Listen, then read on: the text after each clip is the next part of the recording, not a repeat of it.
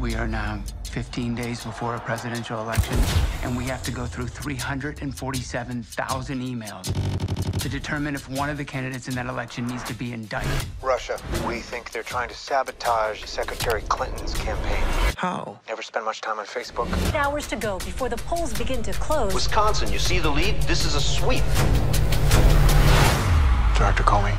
The networks have all called it for Trump. No one has ever succeeded like I have.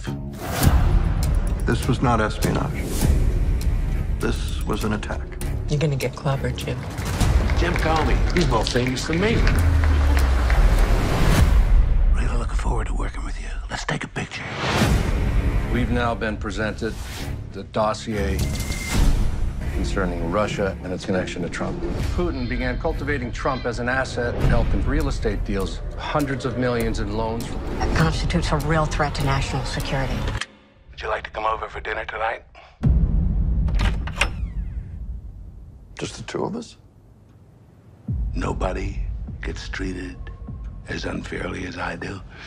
It's disgraceful. Sir? I need loyalty.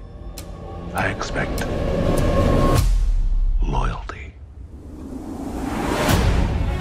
president just committed a crime in your presence. Stop deciding what we do and don't need to know. It's so crazy in there.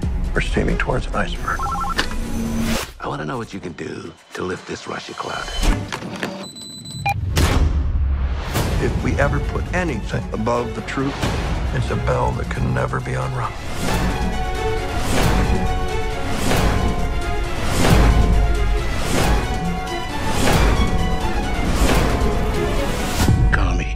Guy. He's a dishonest guy.